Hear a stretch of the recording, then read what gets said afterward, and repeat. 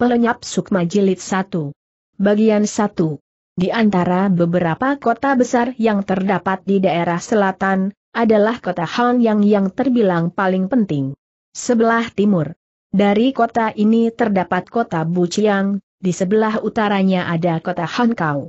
Tiga kota yang berdekat-dekatan ietaknya ini, dahulu merupakan kota-kota strategis yang sering menjadi rebutan para penguasa perang dari zaman peralihan ratusan rumah makan terkenal dibangun di dalam kota Han yang belum pernah sehari tampak kosong.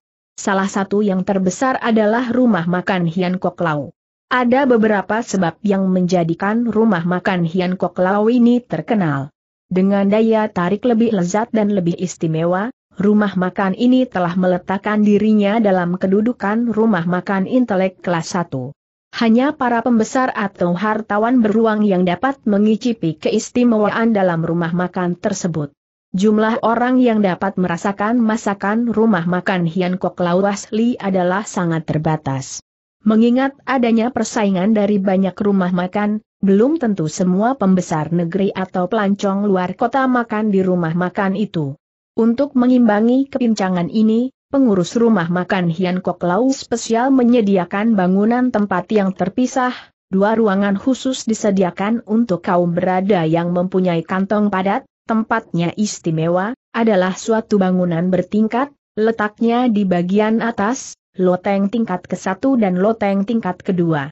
Di situ, sambil menikmati kelezatan dan keistimewaan makanan Hian Kok Lau, para pengunjung dapat menikmati sebagian keindahan dan kota Hanyang. Kelas ini sangat mewah, dan diperlengkapi dengan alat yang serba luks. Sedang untuk umum, Hian Kok Lau menyediakan makanan laris bakmi ikan dengan harga yang lebih ringan. Para tamu di sini hanya diberi kesempatan untuk duduk di tingkat paling bawah. Hati itu, seorang pemuda tampak berkunjung di rumah makan Hian Kok Lau, langsung naik ke atas loteng tingkat kedua.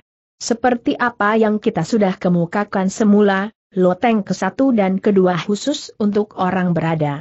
Adapun anak muda ini berani naik ke bagian atas tentu mempunyai kantong yang penuh dan tebal. Disertai dengan lembaran-lembaran bernilai. Nama si pemuda Ielip Tiong, dia seorang jago silat yang mempunyai kepandaian tinggi, dari romen mukanya tampak kecerdikannya, datangnya ke rumah makan Hian Kok Lau sudah tentu dengan maksud tujuan tertentu.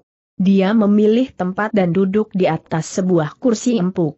Seorang pelayan rumah ketika melihat kehadiran pemuda tersebut lalu datang menghampirinya. Pelayan ini berpakaian dinas, bersih dan rapi. Dia menyodorkan daftar menu makanan. I Elip Tiong memandang Seng pelayan dengan penuh perhatian, lalu tanyanya. Makanan apa yang menjadi kebanggaan Hian Kok Lau bakmi ikan istimewa, panggang bebek istimewa, bistik saus, kacang polong, babi sawit, telur kodok, kuah sarang burung, dan banyak lagi rupa makanan lainnya si pelayan menyebut beberapa nama makanan yang terkenal mahal. I Elip Tiong berulang kali menganggukkan kepala, dan lalu memesan beberapa macam. Si pelayan segera mengundurkan diri, hendak menyiapkan pesanan sang tamu. Dari gerak langkah kaki pelayan tersebut Ielip Tiong tahu, bahwa si pelayan itu tentunya mempunyai ilmu kepandaian silat istimewa. Itu sudah lazim. Pada zaman yang teramat kacau seseorang wajib melatih ilmu silat. Juga tak ada larangan yang tidak membolehkan seorang pelayan rumah makan melatih ilmu silat, tapi yang lebih menarik di sini, ilmu silat yang dimiliki si pelayan tadi bukanlah ilmu silat kampungan. Seandainya orang ini hendak mengangkat diri, setidak-tidaknya dia masih dapat mengepalai satu regu pasukan berkuda. Ilmu silatnya bukanlah ilmu silat biasa. Maka Elip Tiong mengeluarkan tertawa dingin.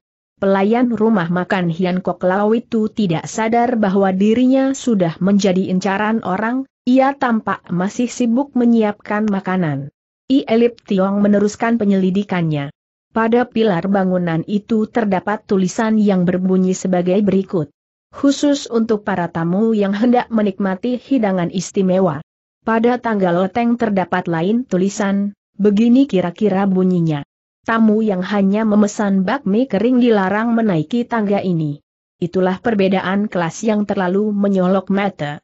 Ruang bawah disediakan untuk tamu-tamu biasa dengan makanan bakmi kering yang murah, loteng pertama dan kedua khusus untuk orang yang punya duit. I Elip Tiong menduga tepat, dia sudah berada di tempat tujuan. Bertepatan pada saat Mete Elip Tiong menatap papan yang bertulisan tamu yang hanya memesan bakmi kering dilarang menaiki tangga ini, seorang tua dengan pakaiannya yang teramat dekil, tampak muncul di tangga loteng. Begitu mesum dan kotor orang segera mempunyai prasangka kepada manusia melarat. Dia naik dengan cepat, begitu cepat, sehingga membarengi langkahnya, dia sudah berada di atas loteng kedua. Seorang pelayan lain segera menghadang pengemis itu, dengan suaranya yang sangat kasar, pelayan itu membentak. Hei, tempat ini bukan disediakan untuk pengemis. Lekas turun. Tanda seru. Orang yang seperti jembel itu tampak pendelikan matanya. Dari saku bajunya yang kemal, dia mengeluarkan lempengan uang emas, dilempar ke depan pelayan yang menegurnya sambil membentak. Pentang matamu biar lebar. Kau kira tuan besarmu tidak punya duit buat bayar kening makananmu di sini tanda seru. Met uang mengenai pipi si pelayan. Seperti juga pelayan yang pertama, pelayan yang memberi servis kepada Ielip Tiong dan mendapat perhatian pemuda itu, pelayan kedua yang mencegak Bapak Raja Gembel itu pun memiliki kepandaian silat lumayan dia hendak mengegos tapi tidak berhasil, Hampir dia terjengkang ke belakang lantaran kerasnya sambitan pengemis misterius itu. Sambil memegangi pipinya yang terasa amat sakit, dia berteriak. Aaaa titik. Kau hendak mengacau di rumah makan Hian Kok Lau? Cepat sekali, pelayan yang melayani Ielip Tiong menampilkan diri. Menyaksikan kejadian itu, dia merendengi kawannya, membuat suatu persiapan tempur. Lebih dahulu, dia memperhatikan kawannya dan bertanya kepada Seng kawan. Eh, Lau Lau, kau kenapa? Pelayan yang dipanggil Lau Lau menuding dengan jari tangannya. Dia titik dia. Seng tamu yang berpakaian kotor memotong pembicaraan Lau Lau. Huh, berani dia menghina orang? Menganggap aku orang apa? Kau kira aku tidak kuat bayar kening makananmu tanda seru. Pelayan ini bernama Lau Sam, bersama-sama dengan Lau Lau, menjadi pelayan rumah makan Hian Kok Lau. Sudah belasan tahun mereka mengabdikan diri di bidang perumah makanan, mereka tahu, mereka paham dan mereka mengerti, bagaimana harus menghadapi aneka macam orang karena mereka biasa menghadapi orang banyak. Orang tua yang seperti pengemis itu mempunyai pelipis yang dalam, itulah tanda dari jago silat kelas 1 bukan manusia yang boleh sebarang dihina. Karena kelengahan Lau Lau, pipinya mematang biru, bengkak segera. Lau Sam segera membungkukan badan, memberi hormat dan bertanya. Maaf. Lau Lau kurang berpengalaman. Makanan apa yang Chuan hendak pesan? Silahkan duduk. Orang tua itu berkoar lagi dengan suaranya yang keras, satu piring bakmi yang kering. Kerut di wajah Lau Lau dan Lem Sem tampak semakin nyata. Bukan ini yang diartikan bakmi kering. Bakmi kering khusus untuk kaum tidak beruang, duduknya di bawah loteng. Bukan di sini. Berdiam beberapa detik, Lau Sam yang lebih pandai berbicara berkata. Sangat menyesal. Kami kira, Chuan harus duduk di bagian bawah. Orang tua yang seperti pengemis itu membesarkan bola matanya, dengan geram membentak. Eh, begitu sentimen kepadaku? Dengan gagah, Lau Sam menunjuk peraturan di pintu loteng tingkat ke-1 dan loteng tingkat 2. Silahkan Chuan baka dulu petunjuk itu. Orang tua yang seperti jembel memandang tulisan dengan bunyi tamu yang memesan bakmi kering dilarang menaiki tangga ini, kedua alisnya lalu tampak dikerutkan. Eh, siapa yang bikin aturan seperti ini? Dengan hormat yang dibuat-buat, Lau Sam lekas berkata, setiap rumah makan mempunyai peraturan dan tata tertib. Dan, inilah peraturan rumah makan kami. Orang tua berpakaian kotor itu menganggukkan kepalanya. Dia tidak bicara memungut met uang yang digunakan buat menampar pipi lau-lau tadi, dan segera membalikan badan, meninggalkan tangga loteng. insiden itu berakhir tanpa terjadi sesuatu hal ikutan lainnya.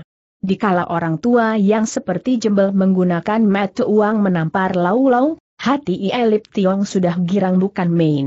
Dia semula menduga, tentunya segera akan terjadi suatu keramaian. Tapi sekarang, pudarlah harapannya. Si pengemis tua begitu tahu diri, lantas ngeloyor turun dari atas bangunan rumah makan Hian Kok Lau. Di sini terdapat sedikit pelajaran baru untuk Ielip Tiong, bagaimana harus menghadapi penghinaan-penghinaan yang datangnya dari luar, si tamu dekil menerima dua macam penghinaan yang berlainan. Lau-lau menghina dia sebagai kaum jembel yang tidak beruang, mengusir dia dari loteng rumah makan. Inilah suatu penghinaan kecil, tapi tidak tahu aturan. Sebagai hukuman, orang tua kotor itu telah memberi hajaran berupa satu tamparan dengan menggunakan uang. Lain penghinaan yang datangnya dari Laut Sam berupa penghinaan lebih besar.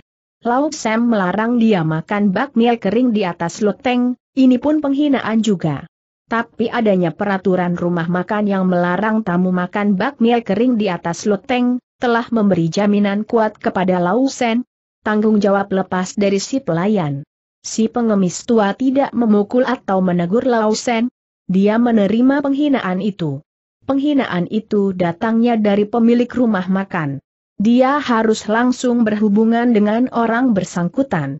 Di dalam hal ini, ialah si pemilik atau pengurus rumah makan yang terlalu. Orang tua yang turun dari loteng tadi mempunyai kecerdasan otak yang cukup sempurna. I Elip Tiong ada niatan untuk mengajaknya bersantap bersama-sama, niatan mana segera dibatalkan, manakala teringat akan tugasnya yang maha penting. Demikian bayangan pengemis tua itu pun lantas lenyap dari permukaan loteng. Makanan yang dipesan oleh I Elip Tiong juga sudah tersedia, Lauk Sam pula yang membawakan makanan itu. Selesai meletakkan piring mangkuk di atas meja, Lauk Sam lantas hendak mengundurkan diri lagi. Saat itulah Ielip Tiong menegurnya dengan suara perlahan. Eh, boleh aku bertanya? Ada apa tanya Lau Sam sambil menghentikan langkahnya. Kalian tidak memperbolehkan orang duduk di atas loteng tingkat. Atas tanpa makanan khusus yang mahal, melarang orang memesan barang santapan biasa, kukira itu tidak baik. Suatu peraturan dengan sistem perbedaan manusia, Sistem kasta. Tidakkah itu akan mengganggu kelancaran usaha kalian? Lauk Sam menggoyangkan kepala, lalu memberi keterangan. Rumah makan kami adalah rumah makan kelas 1. Di kota Han yang ini, rumah makan kami telah mendapat kedudukan paling baik. Setiap orang yang pernah memasuki rumah makan kami, tentu akan dipuji sebagai hartawan kaya raya. Pokoknya orang akan memberi penilaian lain kepada setiap tamu yang keluar dari rumah makan Hian Kok Lau. Karena rumah makan Hian Kok Lau-nya sendiri sudah menjadi lambang kejayaan bagi warga kota Hanyang. Untuk menjadikan seseorang sebagai hartawan, atau orang yang dijunjung tinggi, banyak sekali yang memasuki rumah makan kami dengan kantong kosong. Untuk mencegah terjadinya pencampur gaulan kantong penuh yang asli dan kantong penuh yang palsu, rumah makan kami mengeluarkan peraturan ini. Hanya khusus untuk kaum berada yang dapat menikmati loteng tingkat satu dan loteng tingkat dua. Bagi mereka, cukup puas memakan bakmi kering di ruang bawah saja. I Elip Tiong menganggukkan kepalanya. Sangat masuk di akal katanya. Laut Sam bertanya lagi, Chuan masih membutuhkan makanan lain. Untuk sementara cukup dulu, kata Ielip Tiong. Eh orang tua yang tadi balik lagi. Laut Sam menoleh ke arah tangga loteng, dan betul saja, orang tua yang sangat kotor seperti jembel itu balik kembali. Tidak seperti tadi, sekarang langkahnya Diayun begitu tenang setapak demi setapak bagai sedang menghitungi tangga loteng yang cukup banyak, tapi nyatanya dengan cepat dia sudah berada di atas loteng tingkat pertama. Lau Sam yang pernah mengusir orang itu kini dia balik lagi, dengan sikap gagah lantas menghadangnya, seraya membentak keras. Hei, sudah kukatakan. Orang yang cuma memesan bakmi kering dilarang menaiki tangga ini. Masihkah kau tidak mengerti kata peraturan rumah makan kami? Orang itu mengayun tangannya pelok terdengar suara yang garing dia menggaplok pipi si Lau Sen.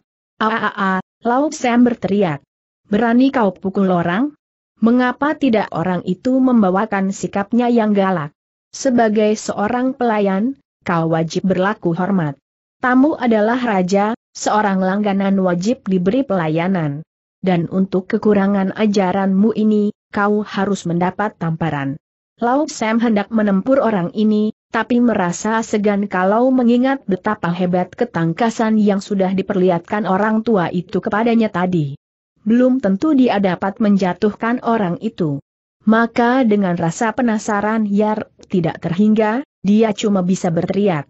Kau memesan bakmi kering menurut peraturan, hanya boleh duduk di ruang bawah. Aku cukup baik sudah memberitahukan adanya peraturan ini dan menyuruh kau turun juga dengan baik-baik ada kesalahan apa yang telah ku perbuat? Orang tua itu tampak menghardiknya. Apa kau tahu, kalau aku hendak memesan bakmi kering? Lau Sam lebih penasaran lagi. Dia berteriak dengan semakin keras suaranya. Barusan, kau ada memesan bakmi kering, bukan? Tadi, memang. Tapi itu waktu aku datang pertama kali. Aku tadi memang pernah meminta makanan bakmi kering. Tapi sekarang tidak. Aku baru datang, belum pesan apa pun tanpa menunggu debatan Lau Sem, orang tua ini sudah menggeser sebuah kursi dan menggabrukan pantatnya di kursi itu keras sekali. Dia menggebrak meja, dengan lagak pembesar negeri yang sangat galak berteriak. Mana pelayan yang mendapat tugas menyiapkan menu makanan? Lau Sam tidak bergerak dari tempatnya, dengan tidak kalah angkuhnya, dia berteriak. Sebutkan, santapan apa yang kau mau? Lau Sam adalah pelayan rumah makan kelas 1, kedudukannya dan cara berpakaiannya tidak kalah dari pedagang eceran. Karena itu, dia berani bertindak sewenang-wenang. Tentu saja, berwenang untuk mengusir para tamunya yang tidak beruang. Orang tua itu tampak semakin marah, menggebrak meja lebih keras. Kepada seorang tamu kau harus berlaku hormat? Gunakanlah kakimu, lekas kemari. Lau Sam masih ragu, haruskah dia menantang tamu jebel yang aneh ini? Mengusir atau melayaninya? Seorang laki-laki kurus kering menampilkan diri, dan segera memberi perintah. Lau Sam, turuti kemauan semua tamu kita. Adapun laki-laki kurus kering ini, adalah kasir dari rumah makan Hian Ko Lau, entah sejak kapan, tahu dia sudah berada di loteng tingkat kedua dari rumah makan itu. Lau Sam seperti mendapat firman raja, tidak berani membangkang perintah ini dengan membungkukan badan menghampiri tamu anehnya. Chuan hendak memesan apa tanyanya dengan laku hormat sekali. Orang tua yang seperti jembel memonyongkan mulut. Coba kau sebut dulu beberapa rupa makanan dari rumah makan kalian yang paling mahal. Lau Sam segera mengoceh panjang. Makanan kami terkenal dengan bistik saus kacang polong, babi sawit, telur kodok, kuah sarang burung. Tanda petik. Setiap macamnya satu porsi potong orang tua itu. Dan harus cepat. Baik. Jangan lupa, tambah dua kati arak simpanan berkata lagi tamu itu. Tanpa berani berayal lagi Lau Sam cepat menjalankan perintah. Sampai di sini, keramaian berakhir. Kasir rumah makan juga sudah meninggalkan tempat kejadian. I Elip Tiong tenang saja meneruskan makannya. Tontonan keramaian berakhir pada babak pertama. Dikala kasir rumah makan Hian Kok Lau hendak turun dari loteng atas. Tiba. Terdengar suara hiruk pikuk, datangnya dari bangunan bawah. Itu adalah suara orang ribut. Tidak sedikit jumlah orang yang datang terbukti dari suaranya yang seperti gelombang pasang. Terdengar suara seorang pelayan yang membentak orang itu, Hei, kalian jangan naik ke loteng atas. Teriakan ini tidak berhasil menekan kegaduhan suara orang banyak. Mengapa terdengar seorang, mencoba melawan? Kami ada membawa uang, berteriak seorang yang lain. Jangan tidak pandang kami kaum pengemis, he suara ini kedengaran geram sekali. Pukul saja. Bercampur baur terdengar suara orang banyak, Pelayan rumah makan Hian Kok Lau merasa kewalahan buat membendung arus manusia ini, mereka hanya mampu berteriak-teriak. Loteng tingkat ke satu dan loteng tingkat kedua cuma buat tamu yang hendak memesan hidangan istimewa, tidak disediakan untuk kalian. Kalau kalian hendak memesan bakmi kering, duduklah di bagian bawah. Para pengacau itu semakin gaduh terdengar suaranya. Siapa bilang kami mau makan bakmi kering teriak seorang. Kami hendak memesan makanan istimewa berteriak seorang. Lainnya. Lekaslah kita naik ke atas hayo, sebu. Terdengar derap langkah kaki yang ramai, pedulu-dulu mereka menaiki tangga loteng, di tengah jalan mereka bersampokan dengan si kasir rumah makan Hian Kok Lau. Berhenti Hardi si kasir dengan suara keras. Tapi tidak. Berhasil, dia malah lantas jatuh terguling maka dengan begitu, sebentar saja penuhlah loteng tingkat ke satu dan kedua dengan puluhan orang. Mereka terdiri dari kaum pengemis yang berpakaian compang-camping dan sangat kotor. Beberapa orang tamu yang sedang menikmati kelezatan makanan Hian Koalau, menyaksikan datangnya rombongan kaum pengemis ini, tahu bahwa segera akan terjadi kekacauan yang lebih hebat, maka buru pada angkat kaki meninggalkan rumah makan itu. Di dalam sekejap mata, tamu sudah bersih dari ruangan rumah makan. Hian Koalau, hanya tinggal Ielip Tiong dan orang tua berpakaian dekil yang masih tetap duduk di tempatnya dengan tenang saja. Puluhan kaum pengemis menarik kursi dan meja, dengan suara yang gaduh, mereka menggebrak meja sambil memanggil pelayan. Hei, mana pelayan rumah makan tanda seru mana menu makanan? Bistik komplit yang istimewa. Hayo mana pelayanan Hian Koklau yang terkenal memuaskan itu? Para pelayan rumah makan saling pandang belasan kaum pengemis adalah anggota Kepang yang tidak boleh diganggu-gugat. Entah dengan alasan apa, hari ini mendadak mereka mengacau rumah makan Hian Kok Lau. Kasir Hian Kok Lau bangun berdiri, dihadapinya kaum pengemis itu dan berteriak. Siapa yang mengepalai rombongan ini? Hayo lekas keluar kaum pengemis itu berteriak. Kami datang buat mengicipi makanan Hian Kok Lau, Bukan. Hendak mengadakan pemilihan umum. Tidak ada yang menjadi kepala di sini. Kasir tersebut menjengek perlahan, lalu katanya.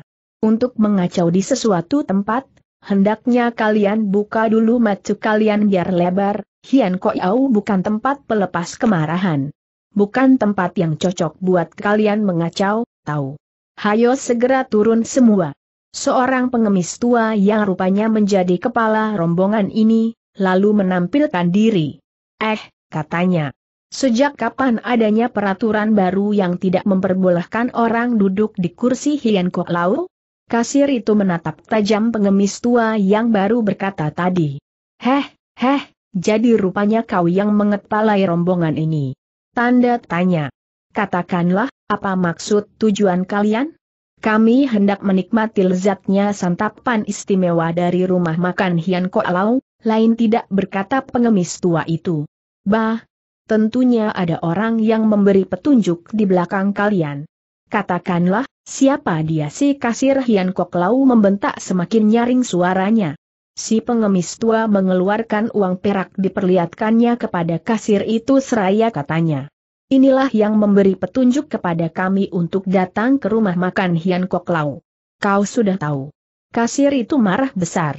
Dia berteriak keras. Pergi. Enyah. Semua enyahlah lekas dari tempat ini. Hari ini Hian Kok Lau tidak menjual makanan. Eh, kalau begitu kalian terlalu tidak pandang matu kepada kami kaum pengemis. Kekuatan yang berada di belakang rumah makan Hian Kok Lau juga berupa suatu kekuatan yang besar. Adanya pengacauan kaum pengemis itu membangkitkan hawa amarah si kasir, segera dia mengeluarkan tantangan. Kami tidak takut kepada kaummu. Belasan pengemis yang berada di tempat itu segera bangkit dari tempat duduk mereka, suatu tantangan untuk kaum pengemis. Mereka sudah bersiap-siap hendak merusak rumah makan ini. Tiba-tiba, Orang tua Kumal menggapaikan tangannya ke arah para pelayan. Titik dua eh, mana makanan yang kupesan? Pelayan itu sedianya sudah mau membawa makanan yang telah siap dimasak itu, tapi adanya kekacauan dengan sendirinya telah menangguhkan pengiriman. Tentu saja dia tidak tahu bahwa orang tua berpakaian kumal inilah yang menjadi biang kerok. Mendapat teguran tadi, segera lari, tentu saja dengan menyertai makanan yang sudah dipesan. Si kasir berkata, bahwa hari itu, Hian Kok Lau tidak menyediakan makanan, dan di depan match mereka, pelayan rumah makan lari terburu dengan makanan yang masih mengepulkan asap. Lagi terjadi kegaduhan, mereka bersorak-sorai ramai sekali. Haa titik. Pembohong besar lihat, apa itu yang tersedia? Di atas piring kalau bukan makanan? Berani kau mengatakan Hian Kok Lau tidak menjual makanan? Betul. Pukul saja si kerempeng ini hajar. Tanda petik. Terdengar suara pring-pring perang-perang, meja kursi diterbalikan piring dan mangkuk beterbangan. Keadaan seluruh isi Hian Kok Lau menjadi kacau. Beberapa di antaranya malah sudah hendak menerjang si kasir kurus kering itu.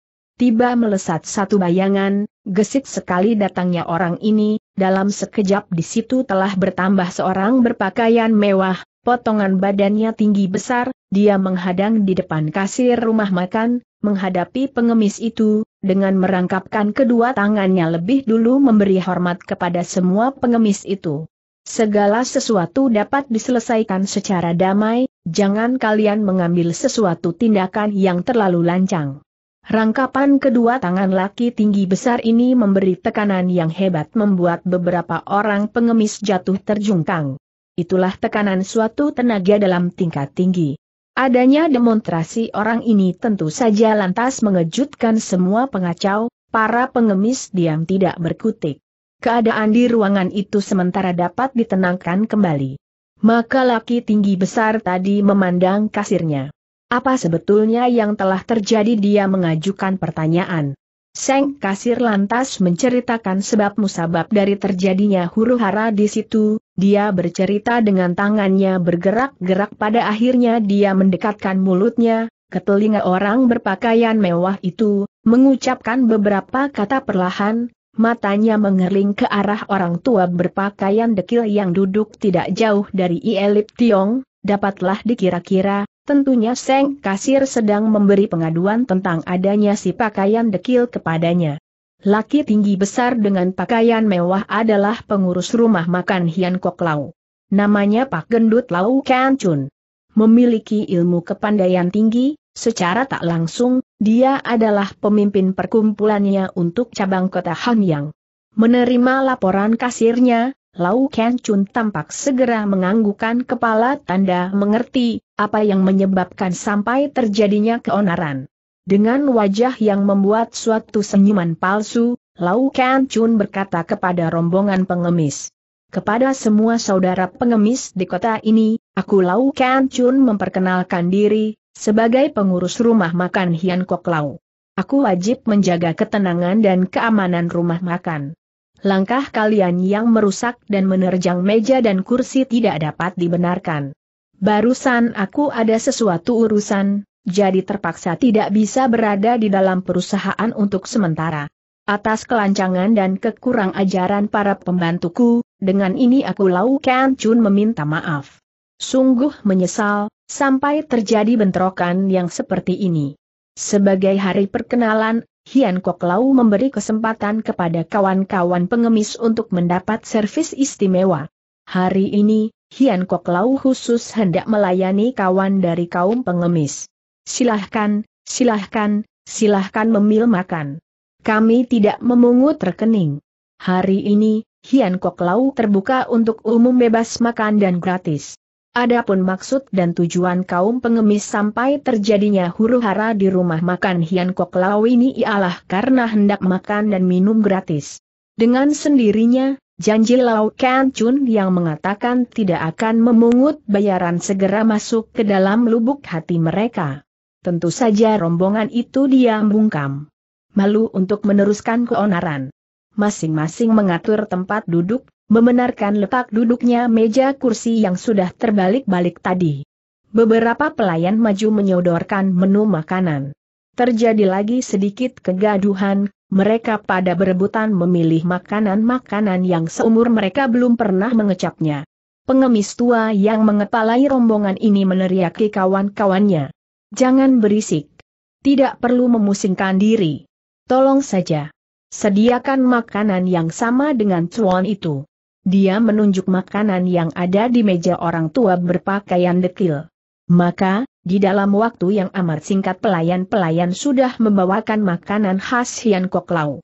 Untuk manusia biasa pun belum tentu dapat menikmati masakan Hian Kok Lau. Apalagi kaum pengemis gelandangan yang hidupnya sengsara, mengimpi pun mereka belum pernah dapat membayangkan, kalau hari ini bakal mendapat banyak makanan lezat dengan gratis lagi, maka mereka melahap setiap makanan dengan rakus sekali. Menyaksikan kerakusan mereka, Lau Ken Chun hanya tersenyum geli. Dia malah memberi perintah kepada pelayannya untuk lekas menyediakan arak, sementara itu ia diam-diam sudah mendekati Ie Lip Tiong, mengajak si pemuda bercakap-cakap. Saudara ini rupanya agak merasa terganggu bukan katanya, maaf, di sini aku meminta maaf. Mari kita menenggak arak perkenalan, Ternyata Lau Kan Chun mulai menaruh curiga, dengan care ini, dia hendak membuktikan betul tidaknya Ie Lip Tiong merupakan salah seorang dari komplotan pengacau rumah makan. Ie Lip Tiong telah membuat persiapan, dia membawakan gerak-gerik seorang yang sudah hampir mabuk, menerima tawaran Toas itu dia segera menyambutnya dengan kata, Bagus. Arak bagus. Ku terima baik salam arak perkenalan, dia mengangkat tinggi cawan araknya. Lau Kan Chun memegang keras cawan dengan cepat membentur cawan Ie Lip Tiong. Mari kita keringkan secawan arak ini dia berkata. Benturan tadi disertai dengan tenaga dalamnya. Berbareng dengan datangnya cawan orang itu, Ie Lip Tiong dapat merasakan adanya benturan tenaga yang teramat kuat. Bagaikan dipukul oleh benda ratusan kati, tubuhnya terjengkang roboh. Aaaya, hanya kata ini saja yang dapat keluar dari mulutnya. Ha, ha titik Lau Kan Chun tertawa. Dia meraih tubuh Lip Tiong yang hampir menyentuh tanah dengan gerakan cepat. Chuan ini sudah mabuk rupanya. Dengan sangat hati-hati, dia mendudukkan Lip Tiong. Dia selesai membuat percobaan, anak muda ini ternyata tidak berkepandaian menurut dugaannya. Inilah putusannya yang salah. I Elip Tiong bersyukur kepada kecerdasan otaknya yang dapat bertindak cepat. Dia berhasil melepaskan diri dari kecurigaan Lau Kan Chun. Di samping rasa girangnya, I Elip Tiong juga terkejut atas tenaga dalam yang dimiliki oleh Lau Kan Chun. Kekuatan si pemilik rumah makan Hian Kok Lau ini jauh berada di atas sepuluh jago Seng Leng Det Chung. Bukan makanan empuk baginya. I Elip Tiong meragukan keselamatannya orang tua berpakaian kemal, dapatkah meloloskan diri dari kekejaman Lau Kan Chun. Seperti menguji kekuatan I Elip Tiong Lau Kan Chun mendekati si orang tua dekil mengacungkan cawan arak dan berkata, Maaf. Maaf karena keterlambatanku, para pelayan yang tidak mempunyai matu itu melanggar kehormatanmu. Dengan ini aku Lau Kan Chun mengucapkan maaf. Orang tua dekil mempeletek sebelah matanya dengan menunjukkan sikapnya yang tidak memandang mata. Dia berkata, Apa? Hendak mengadu cawan? Mengangkat cawan araknya, orang tua itu membentur cawan lau kancun. Tingga. Terjadi sedikit keanehan, kedua cawan itu tidak pecah. Tapi hasil dari benturan kedua tenaga raksasa membuat tubuh Lau Kan Chun yang tinggi besar melayang ke atas ruangan rumah makan, langsung meluncur ke belakang, cepat sekali, tubuh itu membentur tembok bangunan. Lau Kan Chun tidak berhasil menekan kekuatan orang tua berpakaian dekil, dia terlempar jatuh, tanpa mempunyai kekuatan untuk bangun kembali. Para pengemis bertepuk tangan, mereka memuji kekuatan jagonya. I Elip Tiong yang terkejut, dia tidak dapat menduga asal-usul orang tua berpakaian dekil, tapi yang jelas, bukanlah jago dari kaum pengemis. Di saat itu, orang tua berpakaian dekil sudah meletakkan cawan, dia memainkan sumpitnya diputar begitu rupa, tiba selep, tampak gerakannya bagai sedang menjepit di tengah udara yang tidak ada apanya, terarah dan ditujukan ke tempat Lau Kan Chun terjatuh. Dengan geram dia membentak. Bangun. Lagi terjadi keanehan.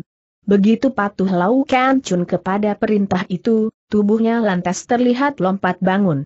Mengikuti perputaran serasang sumpit si orang tua berpakaian dekil, dari jauh, tubuh besar itu juga terputar-putar di tengah udara, lalu perlahan-lahan melayang-layang dengan ringan, seolah-olah benda kapas saja.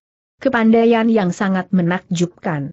Tepuk sorak para pengemis yang barusan terdengar riuh mendadak terhenti, terpesona mereka agaknya. Demikian pun keadaan Ielip Tiong, hampir dia tidak percaya kepada kenyataan yang terbentang di depan matanya. Wajahnya berubah menjadi pucat. Inilah ilmu kepandaian hebat, tidak mungkin dia dapat memadainya. Ilmu kepandaian si orang tua dekil masih jauh berada di atas dirinya. Manakala orang tua berpakaian dekil itu menjatuhkan Lau Kan Chun, I Elip Tiong segera coba mengingat-ingat nama-nama para ketua partai yang ada. Dia menduga kepada salah satu dari ketua partai. Tentu saja, mengingat ilmu kepandaian yang begitu hebat, kedudukan orang tua ini dengan sendirinya bukan biasa lagi. Tentunya merupakan salah satu orang dari sekian banyak ketua partai yang sudah mengasingkan diri. Sebelum menemukan jawaban, lagi Ielip Tiong dikejutkan olehnya. Tidaklah disangka sama sekali, bahwa orang tua ini memiliki ilmu kepandaian yang begitu hebat. Dia dapat menggunakan sepasang sumpit, menarik tubuh orang yang terpisah jauh. Tidak satupun dari para ketua partai yang memiliki ilmu kepandaian seperti dia.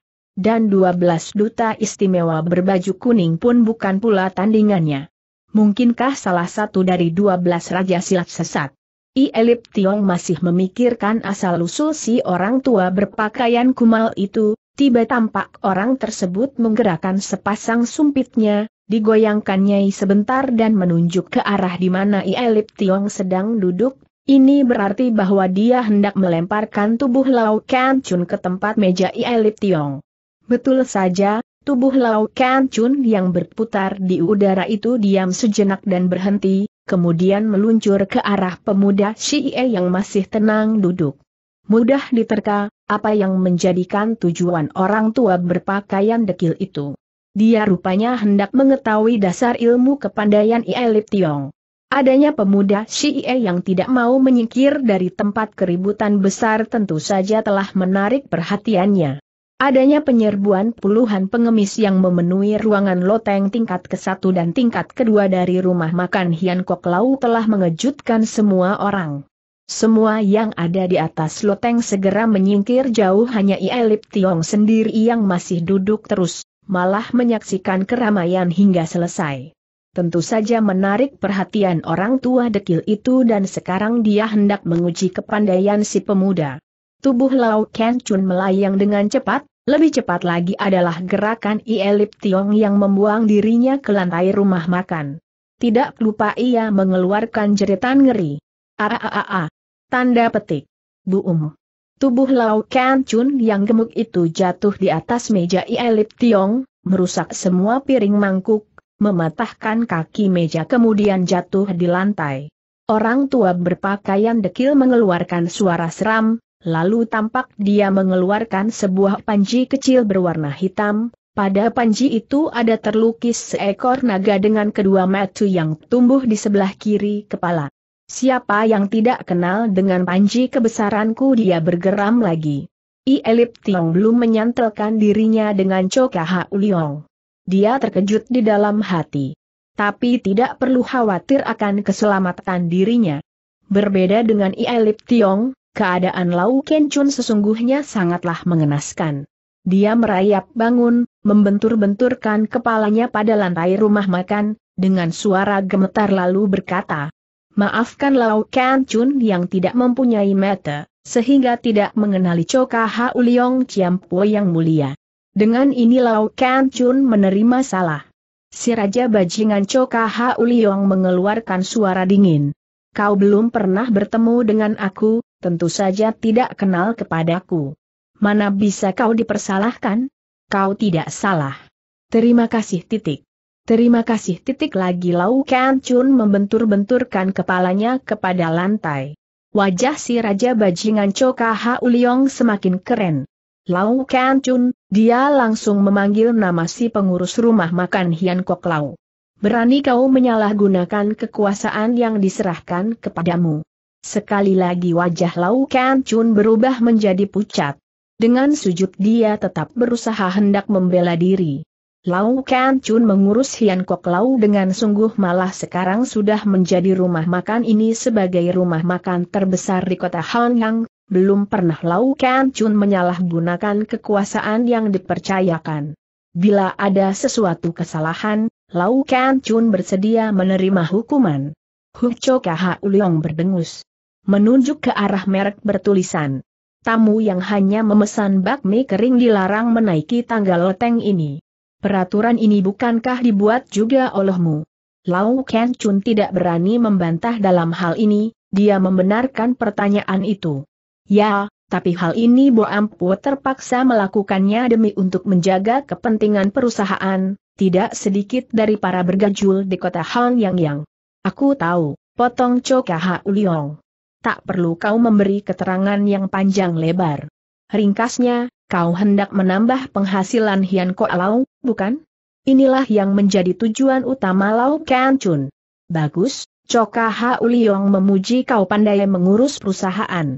Berapa banyak keuntungan yang sudah kau kumpulkan? Tanda tanya.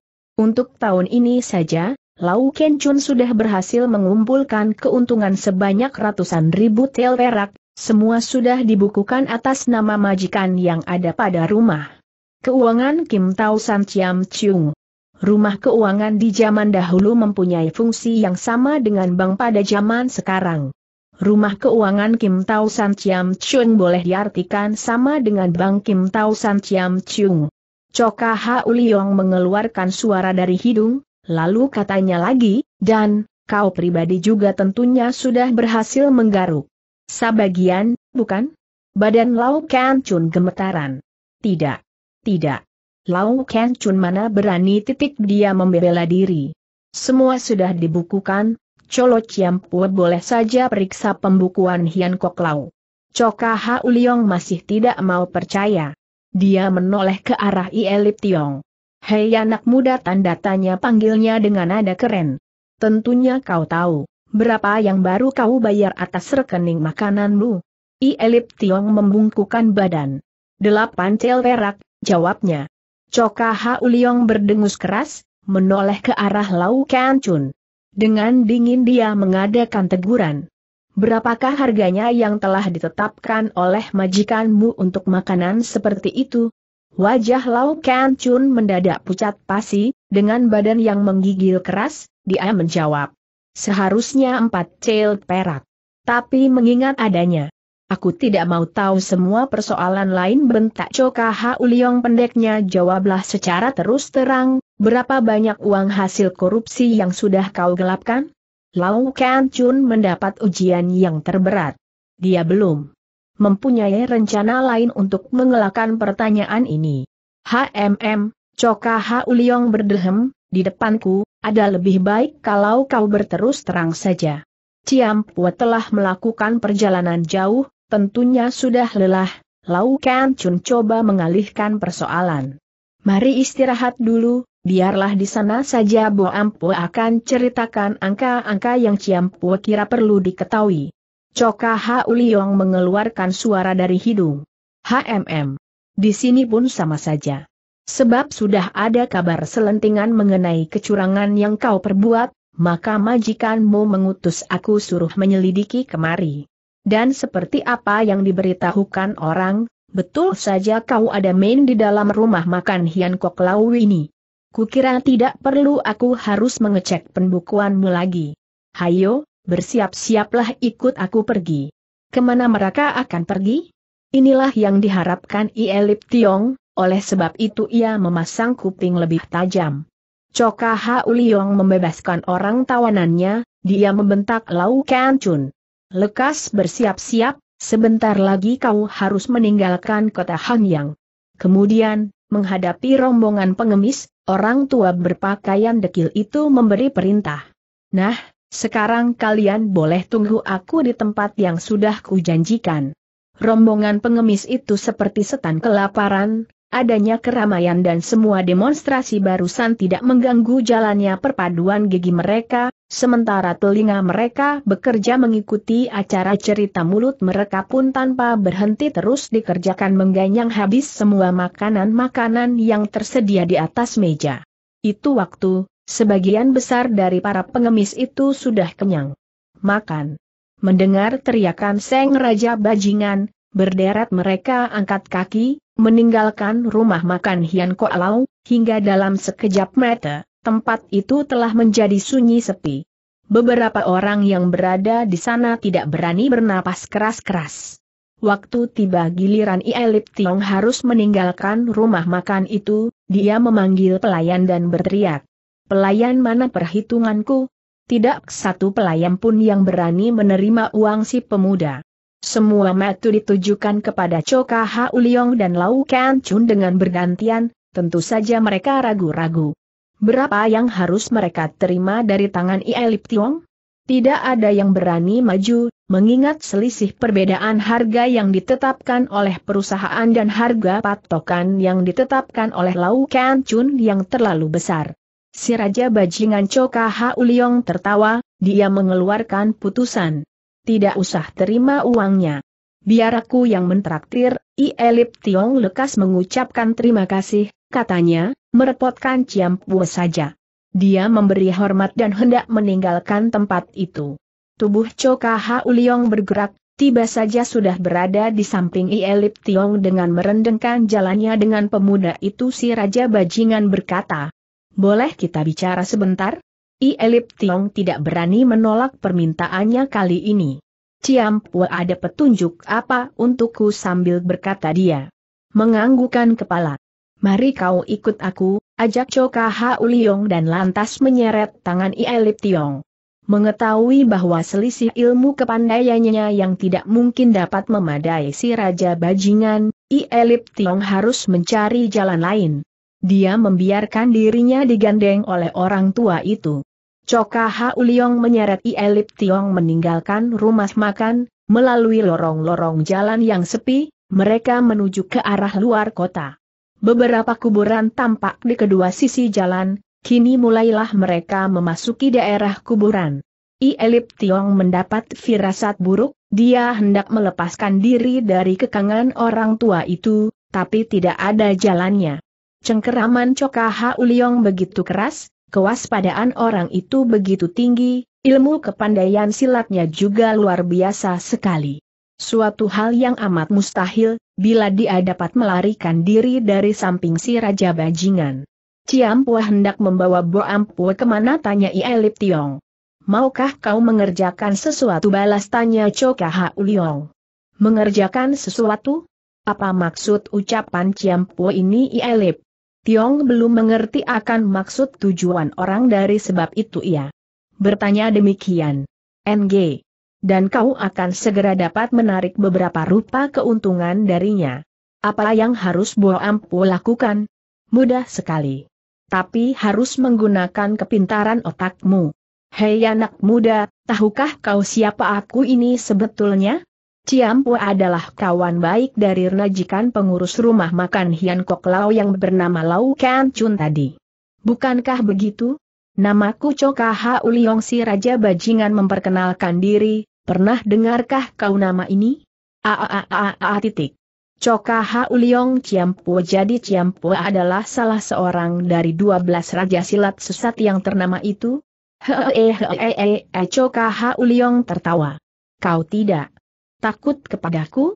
Mengapa harus takut sahut I Elit Tiong? Bo Ampua tidak melakukan sesuatu kesalahan apa pun. Bagus. Sudah kau saksikan tadi, bukan? Bagaimana ketakutannya Lau Kan Chun begitu tahu siapa aku? Tidak berani dia berkutik sedikit pun. Apa kau tidak merasa heran? Sebelumnya, Bo Ampua memang agak bingung. Tapi kemudian, setelah mengetahui hubungan Ciampu sebagai kawan majikannya. Rasa heran itu lenyap begitu saja dengan sendirinya. Ilmu kepandaian Lau Chun sangat tinggi, kau tentu dapat membuktikan sendiri. Tapi mana mungkin dapat memadai ilmu kepandaian Ciampu hektometer, ilmu kepandaian sebegitu pun sudah cukup dapat merajai. rimba persilatan. Bo ampun mulai ketarik. Terus terang ku katakan kepadamu, bahwa majikan Lau Kan Chun berkepandaian lebih tinggi berlipat-lipat dari aku. Dia ada memiliki banyak cabang perusahaan misalnya perkebunan teh, persewaan kuda, rumah keuangan, rumah makan dan macam-macam lagi cabang perusahaan lainnya. Pengurus dari perusahaan itu tentu memiliki ilmu kepandaian tinggi. Kulihat, kau berkepandaian cukup lumayan, maukah ku calonkan untuk memimpin salah satu anak cabang perusahaannya? Sangat menarik sekali berkata Ielip Tiong begitu besar kekuatannya, seperti kekuatan partai ternama saja. Kekuasaannya lebih besar dari setiap partai yang ada dewasa ini, berkata Chokaha Uliong. Lebih besar dari partai yang ada sekarang? Kalau begitu tentunya merupakan partai baru. Apakah nama partai itu? Pernah dengar nama Partai Raja Gunung Ielip Tiong menggoyangkan kepala. Nah, untuk memasuki partai, kau wajib melakukan sesuatu. Apa yang harus Bo Ampol lakukan bertanya Ielip Tiong. Dia sudah menduga kepada sesuatu yang buruk. Nah itu dia mereka datang, berkata Chokaha Uliong. Tunggu akan ku selesaikan dahulu satu urusanku ini. Di sana sudah berbaris rombongan pengemis yang tadi mengacau di rumah makan Hian Kok Lau. Mereka berjajar rapi di depan sebuah makam yang megah. Itulah makam seorang pemimpin yang sudah lama dilupakan orang. Aaaa titik. I Elip Tiong berteriak kaget. Kau memberi perintah kepada mereka untuk menunggu di sini? Betul, Coka Ha Uliong menganggukkan kepalanya aku hendak memberi persen atau serupa hadiah kepada mereka. Dan memaksa mereka agar tidak mengeluarkan cerita yang terjadi di rumah makan Hian Kok Lau barusan. Nah, kau pun memiliki kecerdasan otak yang lumayan juga, Coka Ha Uliong memuji bagaimanakah pendapatmu untuk menyelesaikan perkara ini. Satu persatu, mereka disuruh bersumpah, agar tidak membocorkan rahasia. HMMM, keenakan Choka Ha Uliong mengeluarkan suara dari hidung. Di saat itu, dia sudah menghadapi rombongan pengemis tadi. Rombongan pengemis itu melihat adanya Seng pencipta keonaran yang mempunyai banyak uang, tentu saja sangat menggirangkan hati mereka. Serentak mereka bersorak. Raja Bajingan Choka Ha Uliong berdiri di hadapan mereka, dengan disunggingkan senyuman buatan, dia angkat bicara. Jumlah kalian 38 orang. Tidak satukah yang ketinggalan pengemis tua yang mengepalai rombongan itu menampilkan diri? Dia buru menjawab. Betul. Tidak satu pun yang ketinggalan. Bagus. Kini aku hendak memberi persen dan kalian harus berjanji tidak akan membocorkan apa yang sudah terjadi barusan. Dengan hormat, pengemis tua memberikan janjinya. Kami berjanji, tidak akan menceritakan kejadian di atas loteng rumah makan Hian Kok Lau barusan. Siapa yang melanggar janji ini biarlah dia mati disambar geledek. Bagus Coka Ha Uliong berkata. Silahkan kalian berbaris rapi, agar lebih mudah aku membagi-bagikan hadiah. Rombongan pengemis itu berbaris rapi, membuat setengah lingkaran di depan makam bagus seorang pemimpin yang telah dilupakan orang. Coka Ha Uliong mulai menghitung jumlah pengemis itu, tiba dia menunjukkan rasa herannya yang jelas. Eh, serunya, kenapa jadi lebih seorang? Berapakah jumlah kalian yang datang ke rumah makan Hian Kok Lao tadi? 38 orang, berkata si pengemis tua. Tapi sekarang di sini ada 39 orang, kata Coka Ha Uliong dalam rupa heran. Si pergemis tua yang mengepalai rombongan pengemis melepaskan diri dari barisan, dia mulai menghitung jumlah anak buahnya. Dan seperti apa yang dikatakan oleh Coka Ha Uliong di situ benar saja telah bertambah seorang. Bila mana mereka datang ke rumah makan Hian Koyau berjumlah 38 orang, kini jumlah itu meningkat menjadi 39 orang. Kemarahan pengemis tua itu naik memuncak, dia membentak. Hei siapa yang tidak ikut gerakan tadi harus bersifat jantan, lekaslah tinggalkan tempat ini. Tidak satu pun dari 38 pengemis yang berbaris di situ yang mau melepaskan diri dari barisannya. Si pengemis tua bergeram lagi. Kurang ajar. Eh, eh, coba kalian bantu aku, periksa siapa yang baru menyelundup masuk? Mereka hanya saling pandang, Care ini pun tidak berhasil memisahkan si penyelundup. Si pengemis tua berjingkrak, 38 pengemis yang berbaris, beserta dirinya menjadi 39 orang. Adanya tambahan seorang ini akan menghilangkan sedikit rezeki mereka. Bagaimana dia tidak marah benar? Coka Ha Uliong lantas maju. Sudahlah, dia berkata tidak menjadi soal. 39 orang? Bagus akan kuberi hadiah yang merata, tanpa seorang pun yang menerima lebih sedikit. Kelebihan seorang ini pun akan kuberi hadiah juga, sebab yang ku khawatirkan cuma kalau sampai kurang seorang saja, sebab bisa bikin berabe aku. Nah, lekaslah sekarang kalian berbaris lagi. Si pengemis tua balik ke dalam barisannya. Raja Bajingan Coka Ha Uliong juga sudah lantas merogoh sakunya. Tampak dia menggenggam sesuatu, dan tiba, begitu cepat sekali, dia menyebarkan benda dalam genggamannya, hingga hanya terlihat sinar berkedap, dibarengi jeritan ke-39 orang itu, tidak satu pun yang luput dan kekejaman tangannya. Pada bagian ulu hati mereka kemudian terlihat ada tertancap sebatang jarum perak. Semua pengemis itu jatuh bergelimpangan dalam waktu yang bersamaan. Suatu pembunuhan massal. Aaai Elip Tiong berteriak. Kau membunuh mereka? Tubuh Elip Tiong melesat, dia hendak melarikan diri. Gerakan Ielip Tiong sudah cukup cepat tapi gerakan Choka Hauliong lebih cepat lagi. Begitu gerakan susulan ini melesat, dengan mudah, dia sudah berhasil dapat mencengkeram tangan si pemuda. Jangan lari, dia mengancam. Aku titik. Aku titik. Aaaa titik tiba tubuh Ielip Tiong menjadi lemas, seolah-olah orang kena bokongan serangan gelap. Derap napasnya pun lantas terhenti. Bagian 2. Raja Bajingan Choka Hauliong mengadakan pembunuhan massal. Dia menutup 39 jiwa para pengemis dengan jarum peraknya yang berbisa. Setelah itu, I Elip Tiong melarikan diri. Dia marah, hanya satu kali lompatan, dia berhasil menangkap kembali. Tapi sangat disayangkan, di kala itu, entah mengapa, napas si pemuda mendadak terhenti, tubuhnya lemas, tentu saja ada apa-apa yang tidak beres. Coka Hauliong dengan cepat melemparkan tubuh Ielip Tiong. Di tempat ini sesungguhnya terdapat banyak gangguan, tapi dia tidak dapat melihat jelas, dari mana datangnya penyerangan gelap yang merenggut jiwa orang tawanannya, karena itu, dia melejitkan diri, lompat melesat tinggi sekali, sesampai di atas dia segera memeriksa keadaan di sekitar daerah kuburan itu, tapi tidak seorang pun yang tampak. Heran. Saat itulah tiba terdengar Coka Hauliong mengeluarkan seruan tertahan, satu gumpalan pasir tampak melayang ke arahnya, datangnya dari bawah. Dia mati debu dan pasir yang berterbangan itu, terdapat juga dengungan senjata rahasia, enam buah huicu atau golok terbang lantas mengancam jalan darah di tubuh Choka Hau. Liong. Choka Hau Liong diserang orang secara menggelap. Sebagai salah seorang dari dua belas raja silat sesat, Choka Hau Liong berkepandaian sangat tinggi. Di dalam keadaan yang seperti itu, dia belum dapat membedakan senjata macam apa sebetulnya yang dipakai untuk menyerang dirinya. Kekuatan tangannya memang hebat, Huit. Dia memukul pasir dan senin jata rahasia yang menyerang dirinya. Datangnya serangan gelap begitu cepat, enam batang itu terpecah dalam enam jurusan.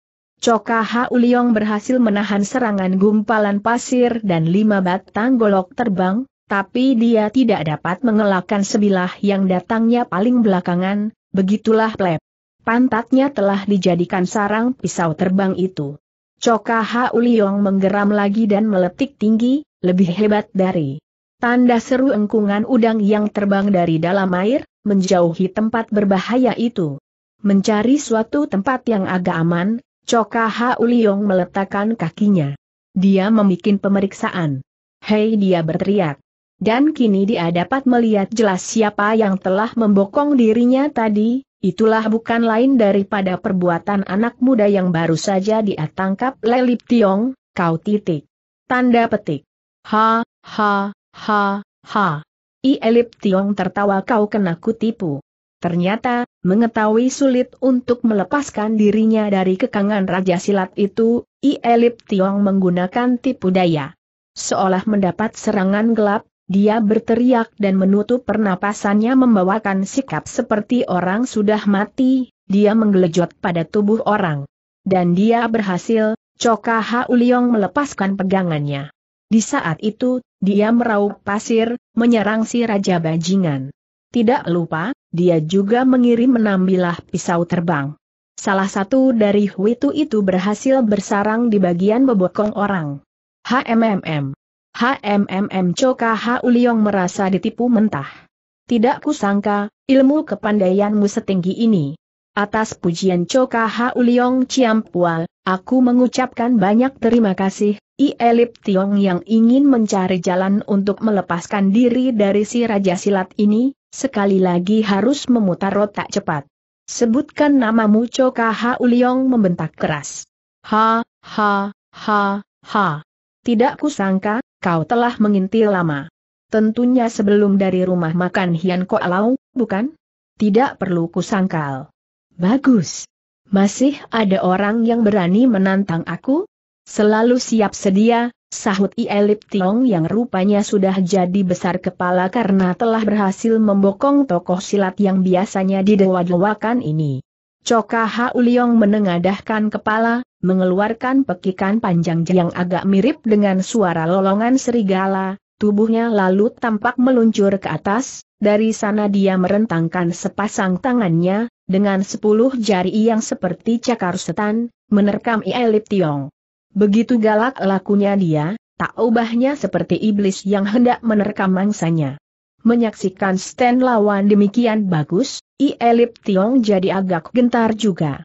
Ternyata, Huitu terbang yang nancap di tubuh orang tua itu tidak mengganggu kelancaran geraknya. Pemuda ini bergerak cepat, menggeser kaki, dengan tipu kau cutau to atau kera kecil mencuri buah to, menyerang pinggang Choka Uliong. Sebagai salah satu dari dua belas Raja Silat Sesat Choka Hauliong kebal kepada totokan biasa. Ia membiarkan saja pinggangnya di arah lawan, masih meneruskan usahanya yang hendak mengkeremas anak muda itu.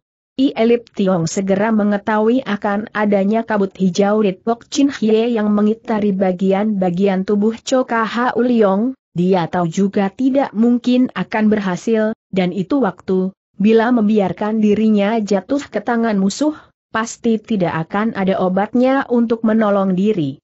Langkah terbaik untuk rentetan Kero menghadapi Choka Hauliong adalah melarikan diri. Cepat sekali, I Elip Tiong menarik tangan yang sudah terjulur keluar, dibetotnya ke samping, menarik berat badannya, begitulah dia berganti posisi, melayang lagi, meluncur kaki, diangiprit pergi. Coka Hauliong menubruk tempat kosong, menyaksikan larinya Seng lawan, dia mengeluarkan gerangan. Cepat sekali, dia pun mengejarnya. Monyet kecil, ke mana hendak kau lari sambil mengancam dia terus membayangi arah perginya si pemuda. Mereka berada di daerah kuburan, menggunakan pelindung itu, I Elip Tiong main petak. Jangan takut, si pemuda mengejek. Aku tidak akan lari, Berhenti kau bentak Choka Hauliong. Bila kau berhasil menyandak, tentu aku akan segera berhenti, I Elip Tiong tanpa mengurangi kecepatan geraknya terus lari bagaikan terbang. Berulang kali Choka Hauliong menerkam lawan itu, tapi tidak berhasil. I Elip Tiong terlalu gesit. Menerkam lagi. Lolos juga, hampir dia menarik baju anak muda itu. Karena menahan rasa kemarahannya yang dipermainkan, Coka Hauliong tidak berhasil menguasai dirinya. Karena itu, dia menemukan kegagalan. Dua orang berlari-larian di sekitar daerah kuburan itu. Sering juga Ielip Tiong menyembunyikan diri, Coka Hauliong harus memakan waktu lama menemukannya. Luka di paha juga mengganggu gerakan Coka Hauliong, darah mulai mengetal jatuh. Dia terlalu banyak mengeluarkan tenaga, maka memperbesar luka itu. Monyet kecil, Coka Hauliong berteriak lagi. Berani kau diam di situ? Mengapa tidak betul-betul Elip Tiong berhenti? Coka Ha Uliong girang dia lompat terbang. I Elip Tiong menggeser dirinya ke samping, lagi lari jauh ke belakang. Coka Ha Uliong terjingkrak-jingkrak. Hei, takut kepadaku? Mengapa melarikan diri dia berteriak? Di sinilah letak keunggulanku, mengapa tidak boleh lari I Elip Tiong menggoda semakin riang. Dia lari lagi. Lari itu memang keunggulan kentutmu, Coka Ha Uliong meneruskan pengejarannya. Aha, I Elip Tiong tertawa, tidak ada huitu yang bersarang di pantatku, maka mudah untuk mengeluarkan kentut. Tidak seperti dirimu, masih dapatkah kau mengeluarkan hawa busuk di perut? Perut Coka Ha Uliong dirasakan mau meledak, dia memiliki ilmu kepandaian yang jauh di atas lawan itu, tapi begitu sulit untuk menangkapnya, inilah yang menyebabkan dia marah sekali. Berulang kali dia menggeram, menubruk si pemuda. Mereka berputar di sekitar makam itu. Berputar lagi dua kali, I Elip Tiong tertawa. Ha, ha, betul titik. Berputar lagi belasan kali pun sudah cukup. Menangkap kata-kata I Elip Tiong seperti itu, wajah Choka Ha Uliong berubah. Dia menghentikan pengejarannya dia membentak. Monyet kecil, kau menggunakan huitu beracun Ielip Tiong menggoyang-goyangkan kepalanya. Jangan takut, dia berkata. Tidak ada racun pada golok terbangku. Coka Ha Uliong bergelar Raja Bajingan tentu saja mempunyai aneka tipu bajingan yang serba komplit. Seringkali menggunakan tipu-tipu yang jahat mencelakakan orang, hari ini dia agak lengah, sehingga dihajar oleh Huitu Ielip Tiong, Huitu masih bersarang di pahanya. Segera terbayang golok terbang yang mengandung racun. Semakin tegas keterangan lawan yang menyatakan tidak mengandung racun, semakin tebal pula kepercayaannya, bahwa golok terbang itu sudah ditaburi racun. Kejadian ini dihubungkan dengan kenyataan, tidak mungkin Elip Tiong dapat menandingi ilmu kepandaiannya, mengapa dia tidak melarikan diri? Apakah yang ditunggu oleh si monyet kecil itu, bila bukan menunggu bekerjanya racun yang sudah menyertai golok terbang bersarang di paha? Aha kepercayaan Coka Ha Uliong semakin tebal. Untuk menolong diri sendiri dari gangguan racun musuh. Dia menghentikan pengejarannya, membalikan badan dan lari pulang ke arah kota. Dia meninggalkan I Elip Tiong. I Elip Tiong mengeluarkan lahan napas panjang, dia berhasil menggunakan tipu itu mengusir lawannya. Menunggu sampai bayangan Coka Ha Uliong jauh betul, baru dia meninggalkan tempat pembunuhan masal itu. Raja Bajingan Coka Ha Uliong telah kembali di kota Honyang, cepat dia membubungi luka di pahanya dengan obat anti racun. Memeriksa sebentar golok terbang itu, betul tidak ada yang membahayakan. Di dalam hati, dia mengutuk Ielip Tiong habis-habisan. Lau Ken Chun sudah menunggu di kamar bukunya, komplit dengan semua catatan-catatan keuangan rumah makan Hian Kok Lau. Coka Ha Uliong mendatangi pengurus rumah makan itu. Tangannya menarik alat hitung, sambil mencocokkan catatan yang telah tersedia, dia mulai membuat pemeriksaan. Itu waktu, I Elip Tiong juga kembali ke rumah makan Hian Kok Lau. Dia tahu pasti, Rumah makan ini pun termasuk salah satu cabang perusahaan dari si Raja Gunung, dia tidak dapat melepas prakasa yang ada. Mengintip dari suatu tempat yang agak jauh, I Elip Tiong dapat mengikuti semua gerak-gerik Choka Ha Uliong. Itu waktu, Choka Ha Uliong sedang memusatkan semua perhatiannya kepada catatan pembukuan rumah makan Hian Kok Lau. Dia tidak tahu bahwa sepasang mata yang tajam terus-menerus mengikutinya. Suara alat penghitung berketak-ketuk cepat. Ternyata, bukan saja pandai bermain silat, Coka Ha Uliong juga pandai menggunakan alat pencari uang itu. Gemelitiknya biji-biji alat hitung begitu nyaring sekali, seolah mengetuk hati Lau Kan Chun yang mendampingi si petugas pemeriksa SA pajak. Semakin lama, Gerakan tangan Choka Ha Uliong semakin cepat, sedari tadi, karena adanya luka yang terdapat di paha, dia tidak duduk di kursi yang disediakan untuknya, berdiri pun tidak mengganggu kelancaran kerjanya. Dengan sikapnya yang sangat hormat, Lau Kan Chun berkata, Choka Ha Uliong Ciampua, tentunya kau lelah sekali, kursi sudah Tersedia di belakangmu. Aku tidak suka duduk, berkata Choka Hauliong dingin. Dia meneruskan hitungannya. Ciampu tidak minum berkata lagi Lau Chun. Air itu sudah mulai menjadi dingin. Choka Hauliong melirik ke arah gelas di samping sisinya, dan menoleh ke arah Lau Chun, dengan adem dia berkata. Inilah tawaranmu yang ketiga kalinya, agar aku mau meminum air ini. Mungkinkah air obat yang mengandung racun? Oh, bukan-bukan badan Lau Kan Chun gemetaran. Siapakah yang berani meracuni Ciampul? Inilah air khususku sediakan kepada Ciampul, suatu tanda kehormatan dan patuhku kepadamu. Bagus. Kau sangat berbakti, berkata Choka Hauliong tunggulah sampai aku selesai membuat perhitungan ini. Baik. Baik. Baik. Terdengar lagi suara kletak-kletiknya alat hitung itu. Jari Choka Hauliong memain dengan lincahnya, begitu cepat sekali, dia membalik-balik lembaran catatan, tanpa menggunakan tangan yang menghitung angka-angka pembukuan. Di dalam sekejap mata, dia sudah selesai mencocokkan pembukuan rumah makan Hian Kok Lau. Menutup buku itu, memeriksa angka yang tercatat pada alat penghitung, Choka Hauliong memandang ke arah Lau Kan Chun. Keuntungan bersih rumah makan berjumlah 578.381 cel perak. Tapi perhitunganku mencatat angka yang berada di atas 1.200 cel perak. Di manakah selisih angka yang ada ini Choka Hauliong mengadakan teguran. Geleduk titik. Lau Kan Chun menjatuhkan dirinya, dia meminta pengampunan, membentur-benturkan kepalanya sampai ke lantai. Choka Hauliong tertawa dingin. Kau sudah mengakui kesalahanmu dia bertanya. Bo Ampua telah melakukan kesalahan besar, harap pengampunan Ciampul. Bangun Choka Hauliong memberi perintah. Lau Ken Chun tidak berani membangkang perintah itu, dia bangun kembali dengan badan yang masih gemetaran, seolah-olah Orang baru direndam di dalam air yang dingin sekali. Katakan, bentak lagi Choka Hauliong, di manakah simpan uang yang sudah kau korupsi?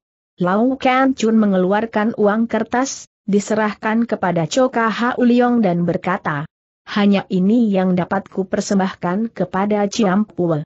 Fungsi uang kertas di masa itu tidaklah jauh bedanya dengan cekue pada zaman sekarang. Kertas yang diberikan oleh Lau Kan Chun kepada Choka Hauliong adalah uang kertas dari rumah keuangan Kim Sem Tau Chiam Chung. Choka Hauliong memeriksa uang kertas dari rumah keuangan Kim San Tau Chiam Chun itu, angka yang tertulis adalah 300 ribu cel perak. Hektometer, terdengar suara dengusannya yang tidak sedap didengar. Hanya angka seperti inikah yang hendak menolong selembar jiwamu? Dari kata ini, sudah terbukti bahwa Choka Hauliong bersedia menerima uang sogokan. Hanya jumlah uang itu masih belum dapat memuaskan dirinya. Atas ketidakpuasannya Choka Hauliong kepada angka 300 ribu tel perak tentu mengejutkan Lau Kan Chun. Tapi, pengurus rumah makan Hian Kok Lau boleh menjadi girang. Atas kesediaan tokoh setengah dewa itu yang dapat disogok dengan uang. Cepat-cepat dia merogoh saku lagi mengeluarkan lain lembaran uang kertas dari rumah keuangan Kim Tau San Chiam Chung.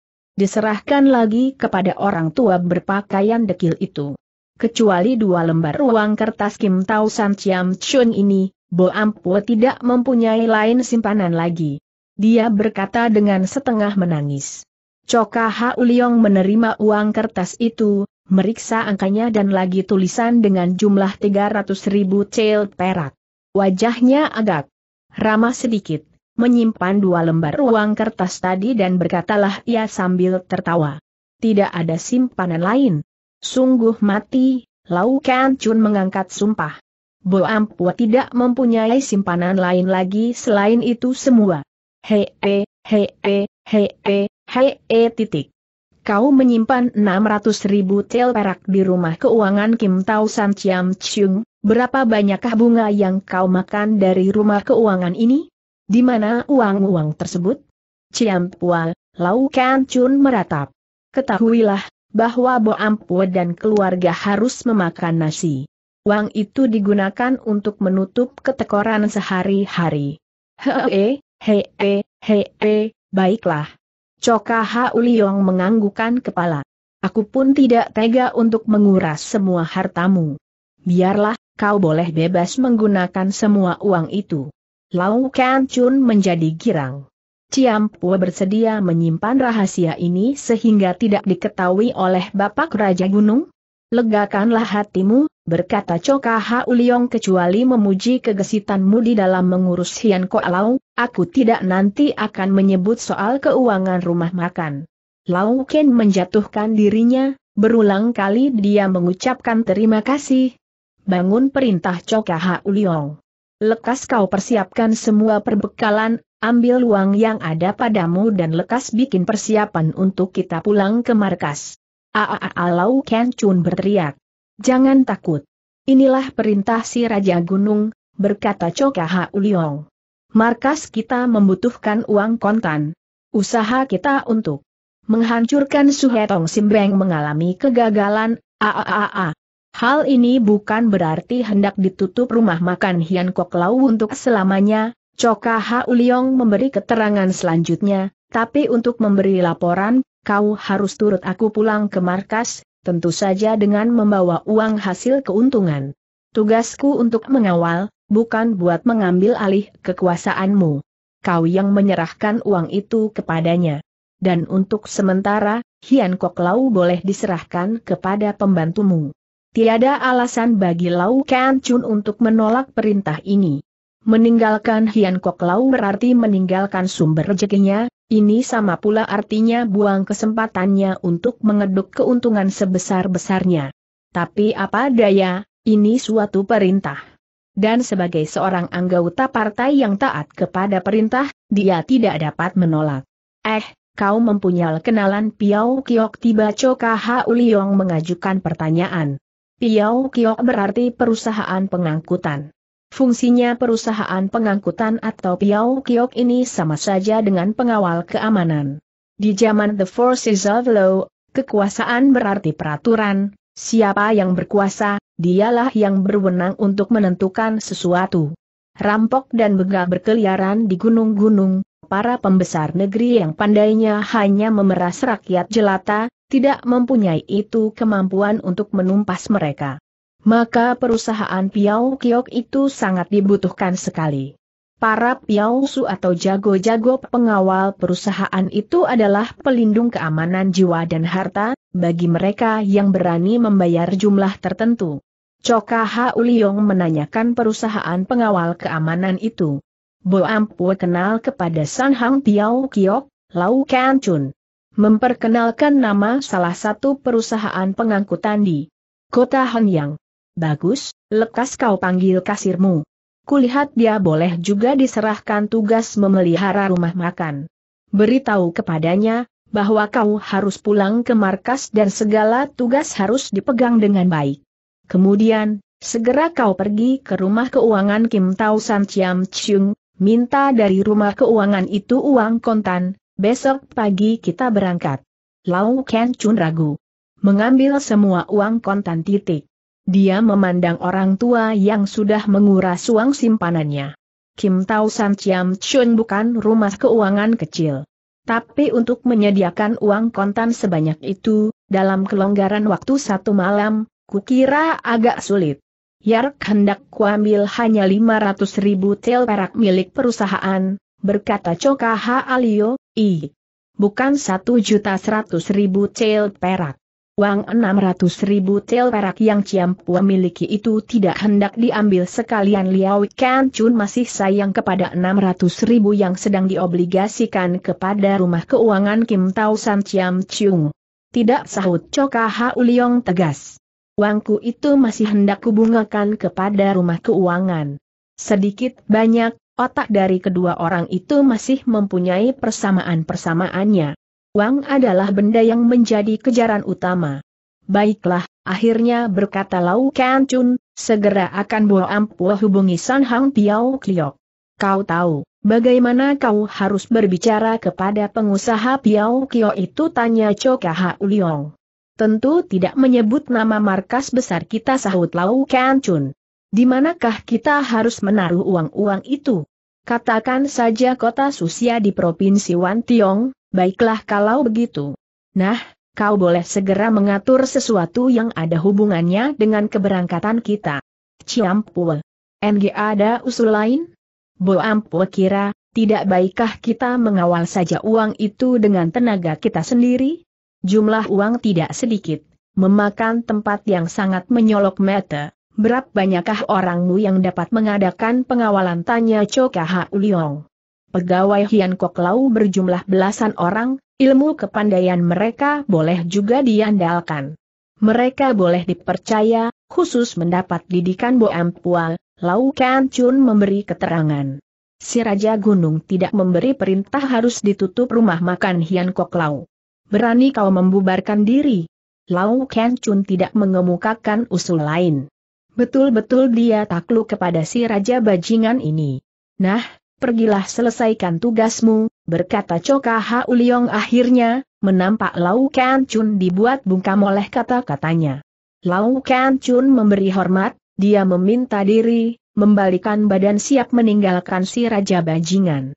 Tunggu dulu tiba-tiba Choka Ha Uliong memanggilnya kembali. Ciampu ada perintah lain Lau Kan harus taat kepada.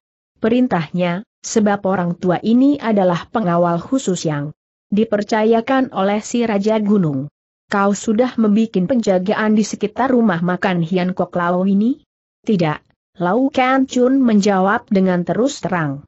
Sampai dengan saat ini, orang belum ada yang tahu hubungan rumah makan Hian Kok Lau dengan Partai Raja Gunung. Maka itu kami tidak mengadakan penjagaan khusus, yang mana malah mungkin akan menarik perhatian orang kepada keadaan kita. Bagus. Tapi hari ini terjadi pengecualian. Lekas beri perintah kepada beberapa orangmu yang dapat dipercaya, mereka harus segera meronda. Beri laporan kilat bila menemukan sesuatu yang dicurigai. Baik. Kukira, Malam ini kita bakal mendapat kunjungan musuh, kunjungan musuh Lau Kan Chun, agak heran. Dari mana? Bisa mendadak datang musuh yang Ciampua maksudkan itu? Coka Ha Uliong malu menyebut kejadian di makam pemimpin yang sudah lama dilupakan orang, teringat kejadian itu, hanya juga mendidih kumat sakitnya. Dengan mengulapkan tangan dia membentak.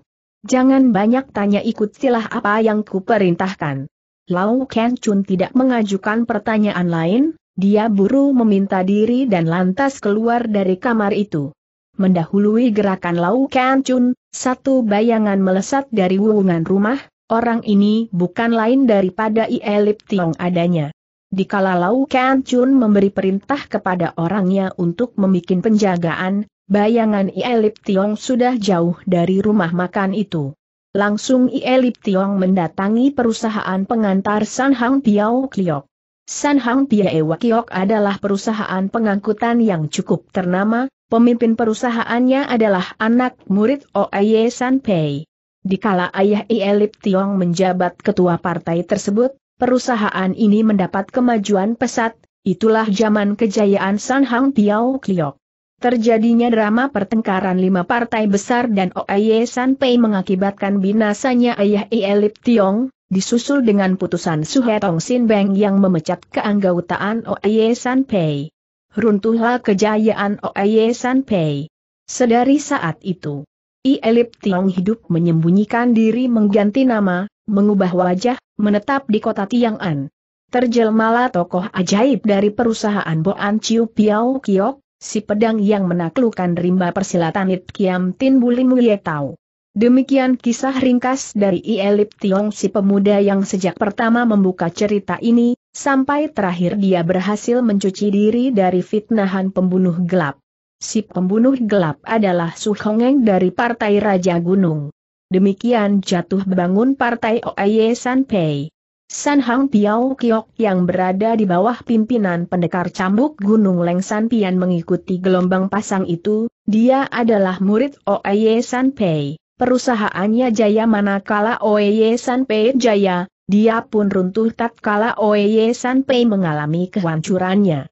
Di saat itu, I Elip Tiong mendatangi rumah si pendekar cambuk Gunung Lengsan Pian, seorang pegawai tampak sedang melenggut ngantuk di depan pintu perusahaannya. I Elip Tiong mendekati orang itu dan mengajukan pertanyaannya. Titik 2.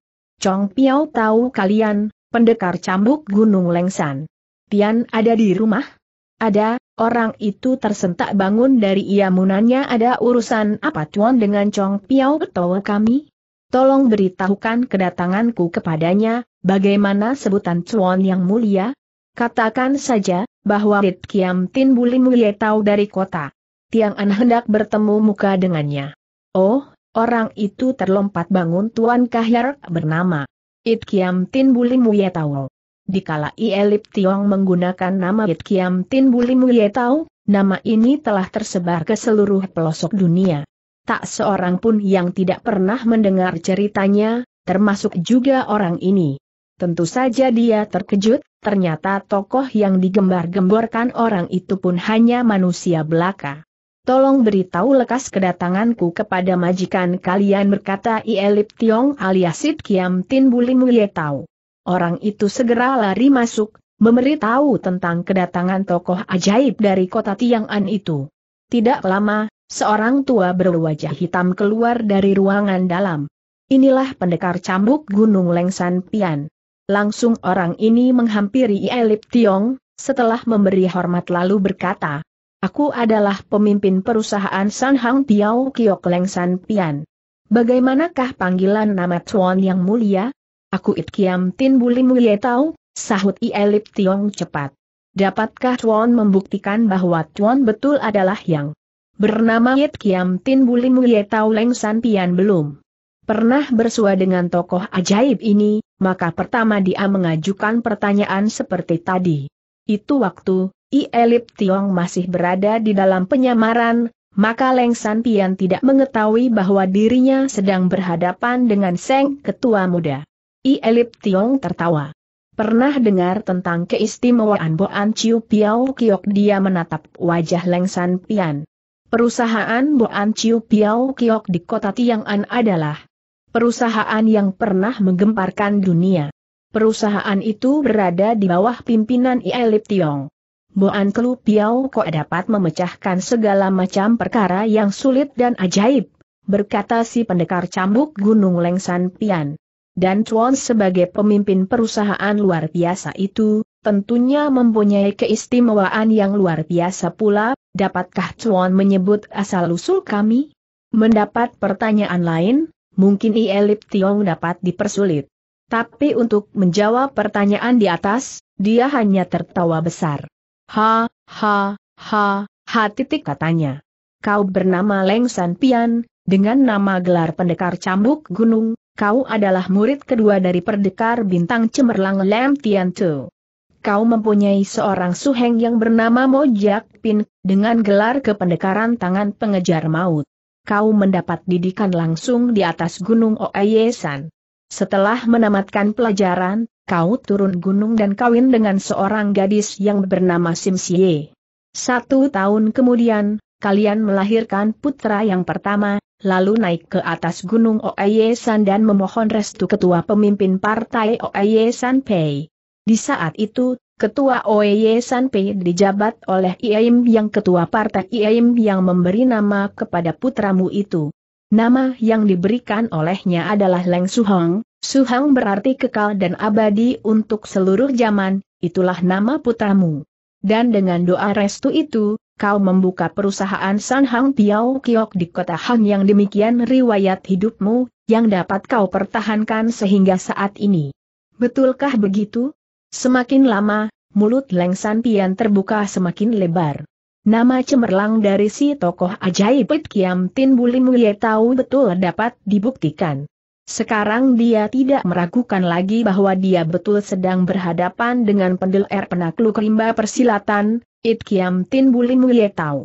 Tentu saja Ielip Tiong dapat bercerita dengan panjang lebar, karena dia adalah ketua muda dari partai Oaye San Pei. Untuk menghidupkan kembali partai tersebut, dia mempunyai buku catatan tentang semua anak murid dari partainya. tentang pendekar bintang cemerlang Lam Tian Tu yang menjadi guru Leng San Pian, tokoh ini hampir berkorban di markas besar Su Hetong Simbeng di Gunung Lusan itu waktu Ie Lip Tiong harus menjalani hukuman pancung kepala, dia dituduh sebagai pembunuh gelap. Lima partai besar tidak becus membekuk si pembunuh gelap yang asli. Mereka menjatuhkan putusannya yang salah. Ie Lip Tiong diberi merek pembunuh gelap. Karena itu wajib dihukum mati. Beruntung datang laporan yang mewartakan masih adanya kejadian pembubuhan gelap di beberapa tempat itu waktu Ielip Tiong sudah kehilangan kepalanya, tentu saja kepala orang lain. Bukan kepala Ielip Tiong yang asli. Atas kelihayan guru Ielip Tiong, jago ini sudah diasingkan ke lain tempat. Itulah kesalahan gabungan persatuan Suhetong Sim Heng. Pendekar bintang cemerlang yaitu Guru Leng San Bian beserta tiga anggota Oye San Pei lainnya mendapat kebebasan. Pendekar bintang cemerlang Lam Tian Chu benci kepada masyarakat yang berlaku tidak adil, dia mengasingkan diri di tempat sepin dan akhirnya mati meras. Adapun tentang pendekar tangan pengejar maut Mojiak Pin, yakni saudara seperguruan yang lebih tua dari pendekar cambuk Gunung Lengsan Pian, setelah ayah Ielip Tiong Iem yang binasa, pernah mengikuti Seng ketua muda. Dia membantu usaha Boan Chiu Piao Kiok di kota Tiang'an. Tentang jago itu, Ielip Tiong tahu lebih jelas lagi. Mojiak Pin mendapat tugas untuk mengumpulkan anak buah Oye Sanpei yang berceceran, siap membangun, dan memperkuat Oye Sanpei dalam bentuk baru, Oye Sanpei yang lebih kuat dan lebih jaya dari Oye Sanpei terdahulu. Dan mengenai putra Leng Sanpian yang diberi nama Leng Suhong, waktu itu Ielip Tiong sedang mendampingi ayahnya. Di hadapan Ielip Tiong lah Iem yang memberi doa restu itu. Tentu saja si jago muda masih ingat benar peristiwanya. Rasa takutnya pendekar cambuk Gunung Leng Sanpian segera memuncak seolah berhadapan dengan hantu kejadian yang mati penasaran, dengan bulu tengkuk bangun gemerinding dia berteriak. Titik dua. Kau, kau siapa? Sudah kukatakan, bahwa aku adalah Hit Kiam Tin Bulim Tau dari kota Tiang'an. Toh tidak mungkin mengetahui semua riwayat hidupku dengan begitu jelas, dan begitu terperinci. Jadi kau sudah lupa kepada keajaiban Boan Chiu Piao Kiok aku titik aku uu titik hampir lengsan pian tidak dapat. Bicara lagi. Boleh aku masuk ke dalam Elip Tiong memandang orang itu. Leng San Pian masih dirundung oleh rasa bingung yang tidak terhingga, dicampur rasa takut kepada keajaiban itu. Lupalah dia menjawab pertanyaan Seng ketua muda. Mendekati orang itu, I Elip Tiong berkata, Aku I Elip Tiong. Leng Tiang Hang semakin takut, sukmanya hampir saja copot dari raganya. Ingin rasanya dia melarikan diri, tapi tak kuasa, juga sudah keburu ditarik tangannya oleh I Elip Tiong. Jangan takut, aku belum mati, berkata si pemuda. Seperti apa yang sudah terjadi?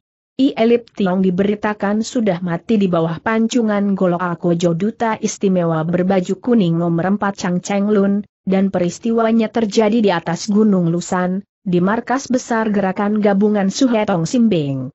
Tentu saja orang tidak tahu, bahwa orang yang mati itu adalah pengganti tubuh I Elip Tiong. Kau titik.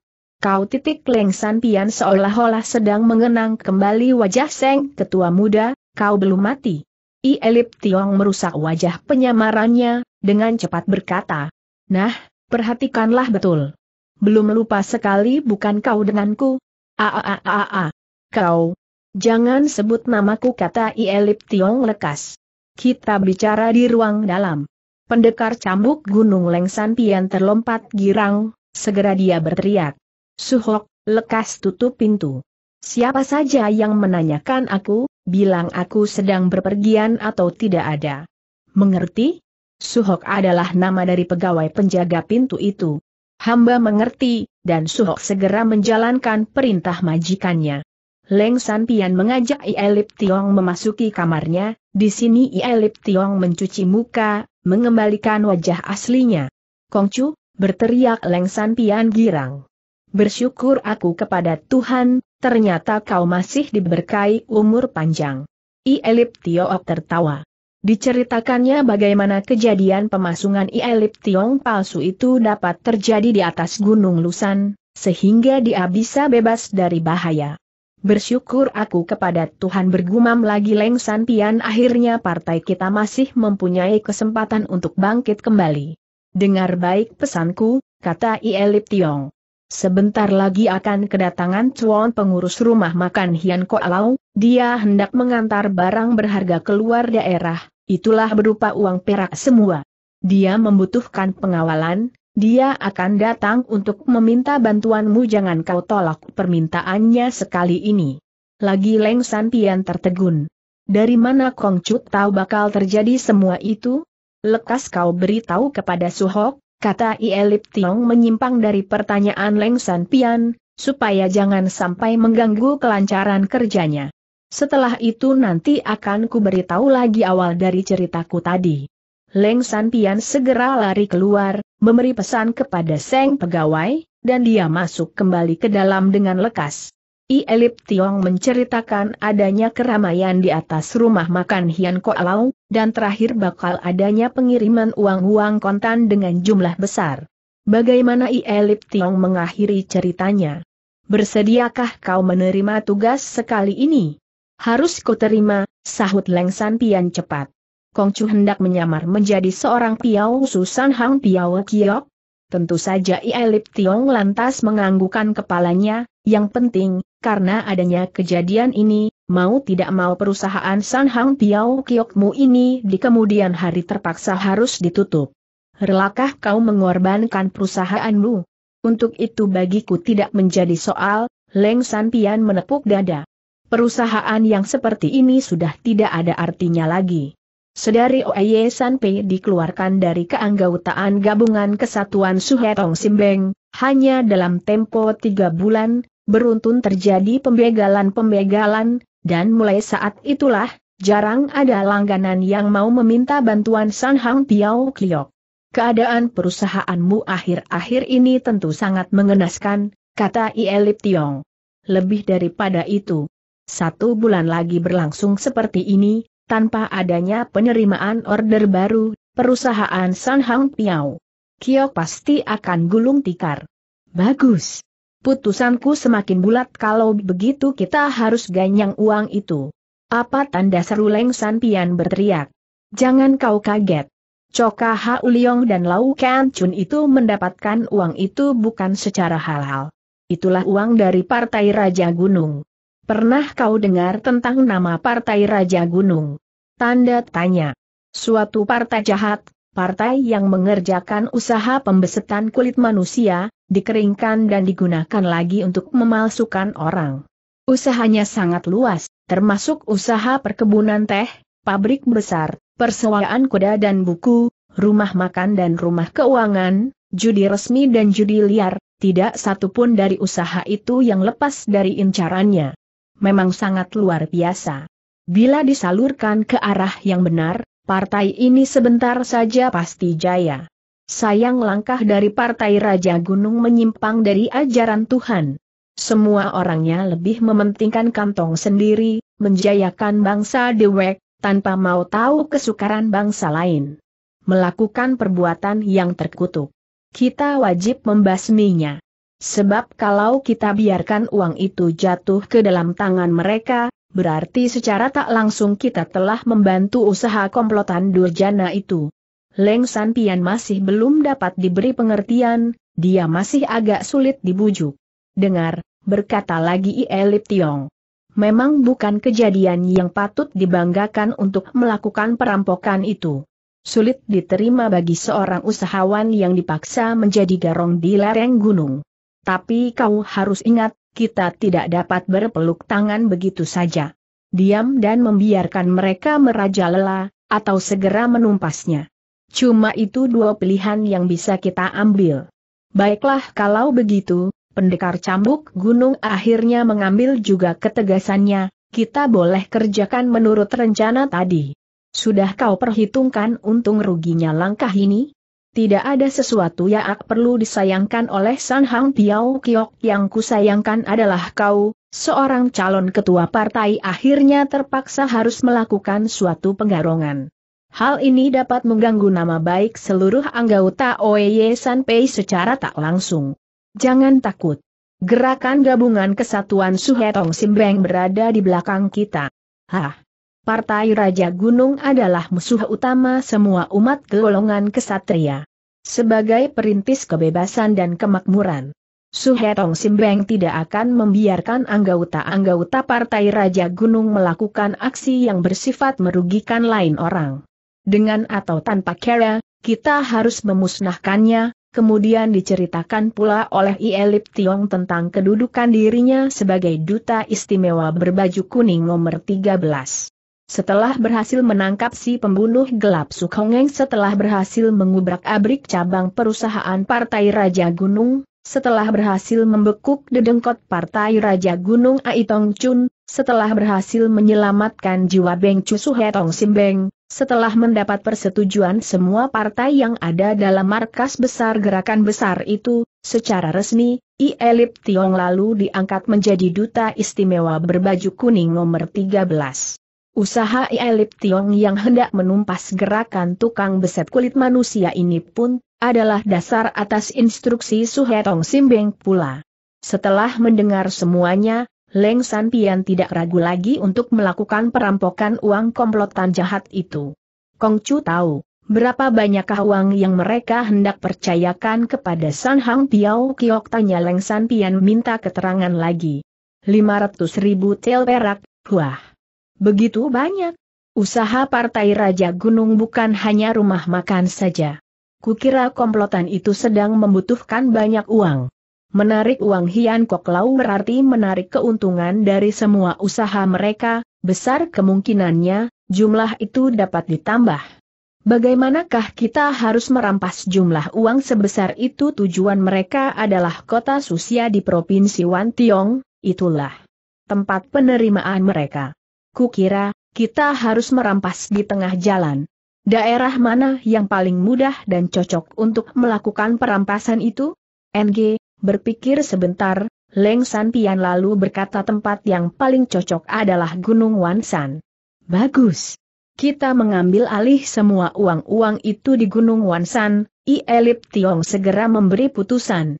Di pihak musuh ada seorang bajingan Choka Ha Uliong, dengan tenaga kita beberapa orang ini, mungkinkah dapat mengalahkannya Leng San Pian mengutarakan kekhawatirannya. Soal ini boleh kau serahkan sepenuhnya kepadaku, kata Ielip Tiong. Sudah kurencanakan untuk meminta bantuan tenaga.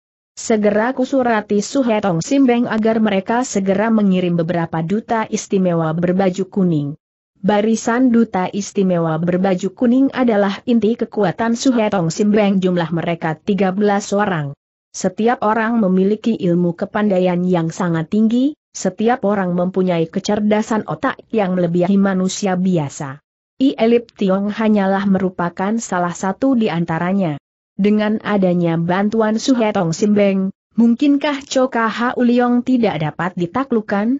Di saat itu, terlihat Suho berlari masuk pegawai itu memberikan laporannya. Lau Kan Chun dari rumah makan Hian Kok Lau minta bertemu. I Elip Tiong segera bangkit berdiri, dan lekas berkata, Nah, kau temuilah dia. Aku harus lekas membuat surat ke Suhetong Simbing. Suruh dia masuk perintah Leng San Pian. Suruh tunggu di ruang tamu. Sulo menjalankan perintah itu, dan segera meminta diri, lalu dengan lekas meninggalkan kamar sang majikan.